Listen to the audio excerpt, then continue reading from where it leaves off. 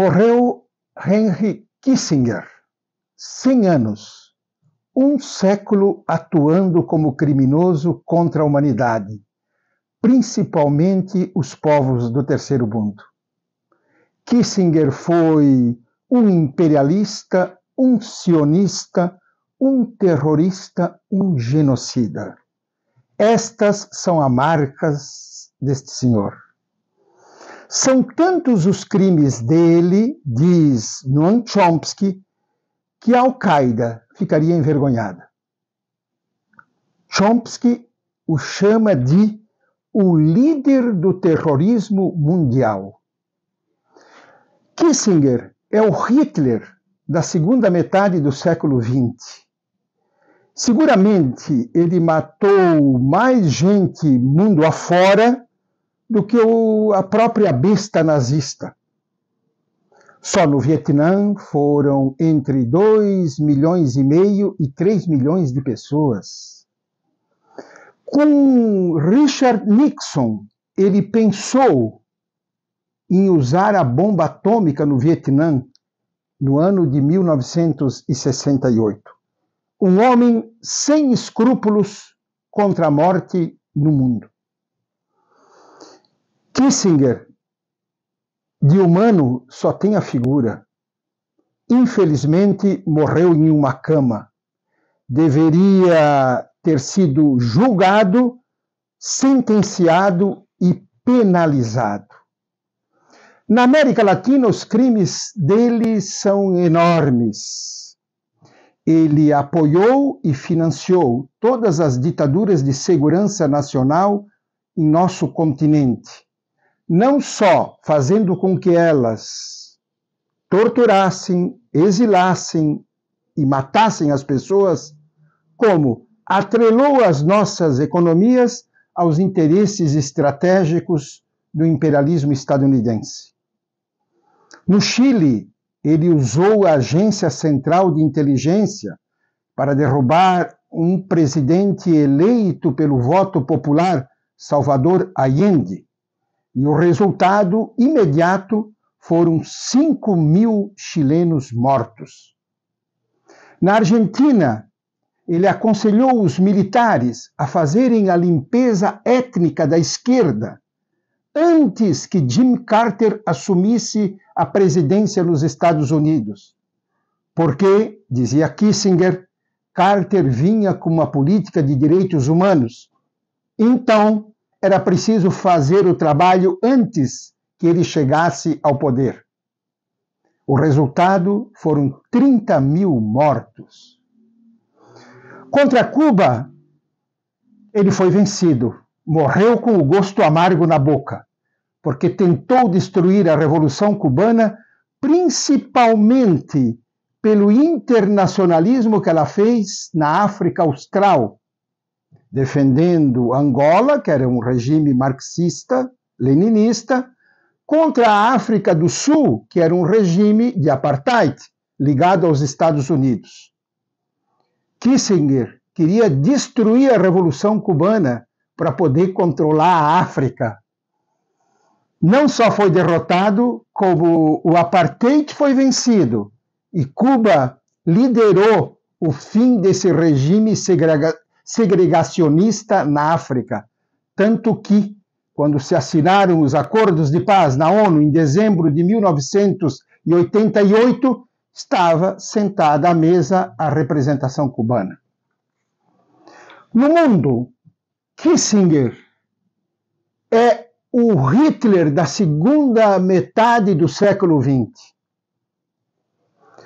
No Vietnã do Sul, ele tinha a tese de que tudo que voa contra tudo que se mova tem que ser liquidado. No Vietnã do Norte, matou milhões. No Laos, no Camboja, liquidou principalmente a classe camponesa. Se nós pegarmos Suarto na Indonésia em 1965, que matou um milhão de comunistas, Kissinger apoiou. Se nós pegarmos Golda Meir na guerra de 1973, Kissinger a apoiou. E não só isso. Nesta guerra, ele colocou o alerta estadunidense em nível máximo no uso da bomba nuclear para dizer aos russos: não se metam, que aqui nós usamos esta arma. E a partir de então, Israel se tornou o lugar tenente dos Estados Unidos no Oriente Médio, porque Washington dependia do petróleo árabe. Esta guerra foi fundamental para a estratégia imperialista. O Shah do Irã, que tinha o maior exército da região, foi apoiado integralmente por Kissinger. Por lá passou, tinha amizade, frequentava a casa do chá. Kissinger falava que havia um vírus no terceiro mundo. Este vírus se chama nacionalismo independente. E por isso, contra este vírus no terceiro mundo, em que os países buscam um capitalismo de cunho nacional, era preciso derrotar esses governos, porque o vírus contagiava. E se você permitia, na teoria do dominó, um depois do outro ia caindo. Por isso, mão dura com os governos. Rios de sangue pode correr. O importante é que eles se mantenham fiéis ao imperialismo. Isto foi Kissinger. É lastimável, para não dizer escandaloso, ver professores de relações internacionais Brasil afora vendo o lado bom de Kissinger e o lado um pouco perverso. Que cínicos estes professores! Que vergonhosos! Por que, que vocês não assumem também que Hitler teve um lado bom e um lado ruim? Sejam honestos. Usem o mesmo diapasão. Não, vocês fazem isso porque vocês querem alguns segundos numa grande rede de televisão. E como ele é o diplomata, escreveu livros sobre a diplomacia, então vocês fazem aquela análise que as grandes mídias gostam. Kissinger esteve em Florianópolis. Foi trazido aqui pela Associação de Dirigentes e Marketing da cidade, com o apoio da então RBS a pedido do sionista Sirotsky, que comandava esta rede de televisão. E eu tive o prazer de ver o governador do Paraná, na frente de Kissinger, aqui no Centro Integrado de Cultura, desdizer durante meia hora tudo o que ele tinha falado durante uma hora.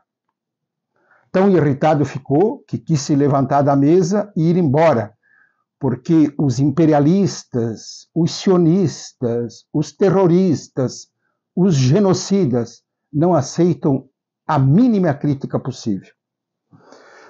Bom, eu digo que morreu sim.